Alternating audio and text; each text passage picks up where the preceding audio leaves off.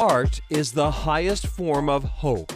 While hope may seem hard to come by right now, art is not. All you have to do is look for it. For that, we take you first to the Rose Kennedy Greenway. The public art program on the Greenway started about six years ago. We are a park system that does all artwork temporary and contemporary. Lucas Cowan is the Greenway Conservancy's director and curator of public art. I think it's really important, especially for artists, to move outside of white wall gallery systems or museums or their studios to bring their ideas to fruition in public space. Works of art in various forms are strategically situated along the one and a half miles of greenway that stretch from Chinatown to the north end. Each year, the theme changes and new works are introduced. The idea of this year's theme around immigration, culture, and identity is really to expand the notion of how interconnected we are through multiple cultures. Artist Catalina Delgado Trunk, a native of Mexico who now lives in New Mexico, embodies that theme with her Global Connections installation. She's actually created an eight-panel story that spans two park areas on these light blades that tell the creation of the earth, of the land, of the moon, of the sun, and then the distribution of food. Delgado Trunk works with papel picado, paper cutout. She draws an image on paper and cuts out the shape. Here, the image was photographed and printed on vinyl before hanging. She uses food as a metaphor for the interconnectedness of us all. Another artist, Ferran Dai, created this neon sign called A Mouse with Ears and Tail. It actually traces the history of the uh, character for mouse in Mandarin Chinese all the way back to the first writing of the word mouse. This is part of a 12 year curation that will showcase all of the animals of the Chinese zodiac. Ferran is an artist that really works around the concepts of communication and language. The Greenway is committed to its concept of providing public art, now more than ever, as people spend more time outdoors. It's a park for all people. To be able to have access to the arts and access to local, national, and international artists and those ideas that are happening and conversations that can happen in reflecting with this artwork is so important.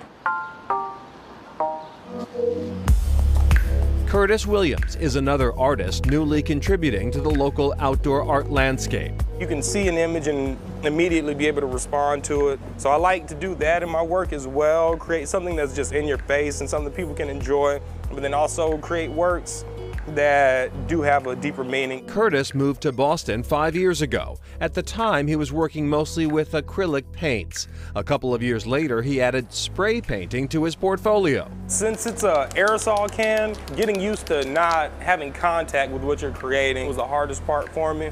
And then getting used to the different tips that you're able to use. But now I feel like I've been getting more adept, so I'll lay down line work and then you use the base color and you cut it.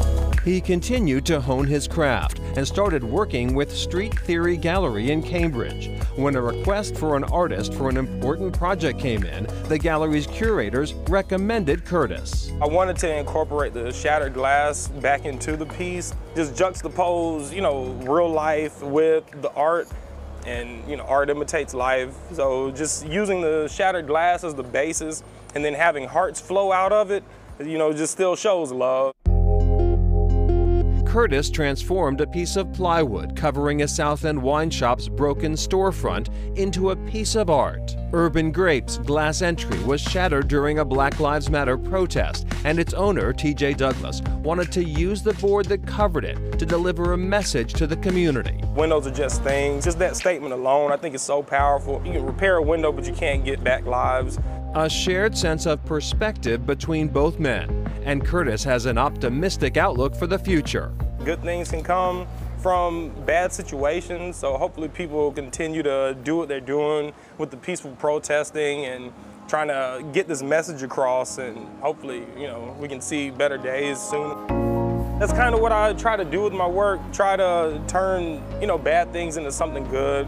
That positivity is something he's had more of an opportunity to share with his recent completion of several public murals. Not everybody frequents galleries, which is always the case, but with outdoor murals, people are always outside, especially with COVID happening right now. Increased access to art can also help make it feel more inclusive. It's like a universal language that everyone's able to see and understand. If you visit the Global Connections installation after dusk, there's another fun interactive way to observe Catalina Delgado Trunk's work. You can text any color from your phone to change the hue of the light blades, illuminating the background of any shade of your choice. Still to come, Massachusetts wine is all the rage. Seriously.